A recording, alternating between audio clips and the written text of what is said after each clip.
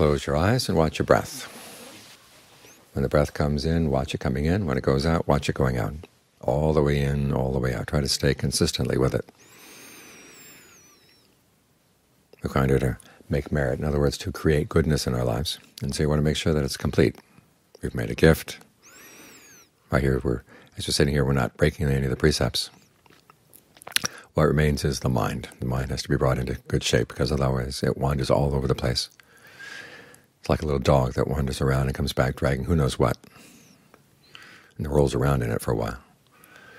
So you want to make sure that it's trained. Otherwise it creates a lot of messes for, them, for its owner. But if it's well trained, it can do all kinds of things for you. Many more than a dog could ever do, any a horse or any animal could do. The well-trained mind can bring you true happiness.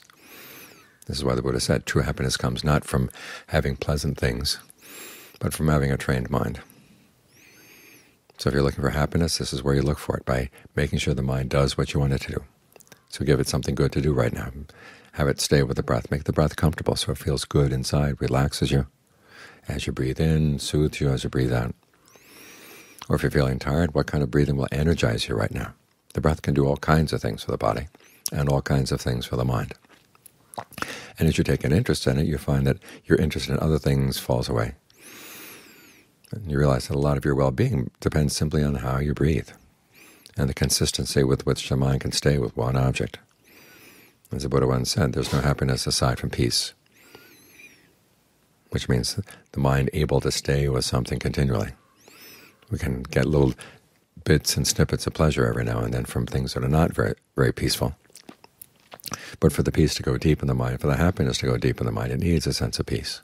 It needs a sense of stability inside. So try to be stable here with the breath. Learn how to trust yourself. You can depend on yourself, that once you choose to focus on something, you can stay there. You can remember to stay there, and you're alert to watch out for the mind.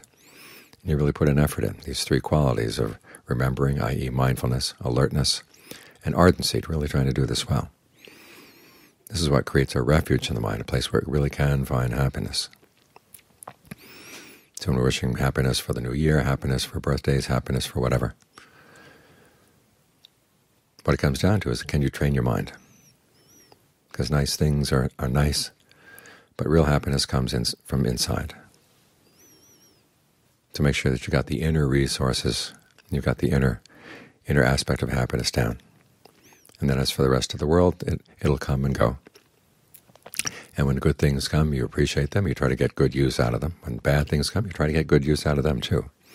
After all, the world has gain and loss, status, loss of status, praise and criticism, pleasure and pain. That's what the world has to offer you. And if you can learn how to take advantage of all of these things, then you can live in the world and not suffer. And there was even when there's loss, you can think about how when there's loss, you find out who your true friends are. When there's loss of status, it's the same sort of thing. When there's criticism, you look around and see, is the criticism true? You've learned something special, because all too often we don't look at our own faults, but if someone else actually points them out and they are true, then we've learned something important. If the criticism is false, you've learned something about the other person. So there's always something to learn from both the good and the bad in the world. If you can take this attitude, then the happiness that you create inside the mind will be stable and won't turn into something else.